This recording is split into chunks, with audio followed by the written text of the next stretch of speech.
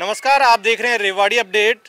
इस वक्त हम खड़े हैं रेवाड़ी के कौनसीवास रोड पर, सूरज गार्डन के पास, जहाँ श्रीमद भागवत कथा और नव कुंडीय महायज्ञ का आयोजन होने जा रहा है। नवरात्रों के पावन पर्व पर यह आयोजन किया जा रहा है और जो आयोजन समिति के जो सदस्य हैं, वो हमारे साथ में आपको बता दें कि 15 अक्टूबर, यानी कल से ये पूरा आयोजन शुरू होने जा रहा है। कल नव कुंडीय जो महायज्ञ है, उसकी शुरुआत हो जाएगी। उसके अगले दिन सात दिन के लिए श्रीमद भागवत कथा का आयोजन किया जाएगा। श्री वृंदावन धाम से विपुल जी महाराज कथा का वाचन करेंगे और चौधरी अमीर चंद इंडस्ट्रीज़ इस पूरे कार्यक्रम का आयोजन करा रही है। तो सदस्य हमारे साथ में, पूरा कार्यक्रम क्या होने वाला है, किस तरह से ये कार्यक्रम चलेगा और कल कलश यात्रा भी निकाली जाएगी, उसमें कितने सदस्य होंगे तो उनसे बातचीत करते हैं। ये ऐसा है, मैं दुर्गा मंदिर जाता था। ये दुर्गा मंदिर में जैसे कभी आज से, भाई, पंद्रह बीस साल पहले ये नव दुर्गा यज्ञ का आयोजन हुआ था उसके उसी टाइम से मेरे मन में ये बैठा था कि मैं भी कभी ये कराऊँ कराऊँगा। तो वो आज माता रानी ने मेरा कार्य पूर्ण करने के लिए क्षमता दी है।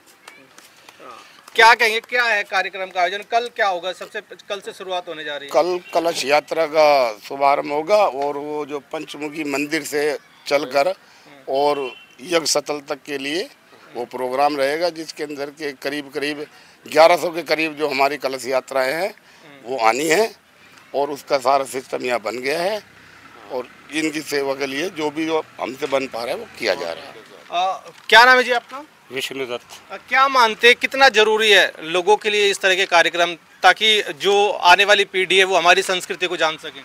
ये तो शहर में बहुत अच्छा कार्य हो रहा है हम्म। ये तो इनकी भावना है जो अच्छा कार्य कदम उठाया है। हम्म। बाकी सारा शहरवासी देख रहा है। और बाकी भगवान की कृपा है माई की कृपा है सब काम अच्छा हो रहा है। ये तो इनको सदबुद्धि दे भगवान जो है इतना बड़ा आयोजन कर रहे हैं इनका कार्य सफल करे। तो आचार्य पंडित भरत शास्त्री जी भी हमारे साथ में पंडित जी। आ, क्या टाइमिंग रहेगी पूरे कार्यक्रम की? और पूरा आयोजन थोड़ा सा डिटेल से बताइए कि इस वक्त हम आ, जो हवन यज्ञ होगा वहाँ खड़े हुए किस तरह से रहेगा सारा यहाँ? जी जी।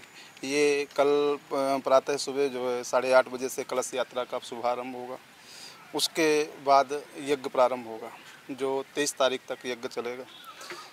सोलह तारीख से दोपहर ढाई बजे से श्रीमद् भागवत महापुराण का कथा जो साढ़े पाँच बजे तक चलेगी। नियम से रोज़ ग्यारह नौ यजमान जोड़े के साथ यज्ञ में शामिल होंगे। हम्म। इस तरीके से इक्यासी यजमानों के जोड़े बनेंगे जो कंटिन्यू नौ दिन के यज्ञ को सफल कराएँगे।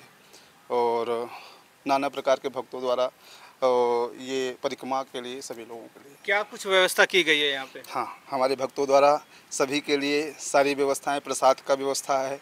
जल पेय का व्यवस्था है और लास्ट दिन भंडारे का सभी भक्तों के लिए भंडारा, तेईस तारीख का भंडारा है, दिव्य भंडारे का आयोजन किया जाएगा।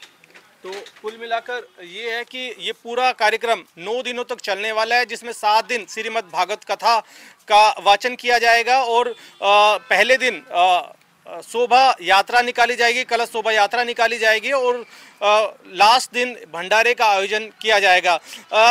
पूरा कार्यक्रम जो सात दिनों तक चलेगा, उस कार्यक्रम को लाइव देखने के लिए आप YouTube channel Shyam Milan live पर देख सकते हैं और रेवाड़ी अपडेट के फेसबुक चैनल पर भी आप पूरा सीधा जो प्रसारण है, वो इस कार्यक्रम का देख पाएँगे।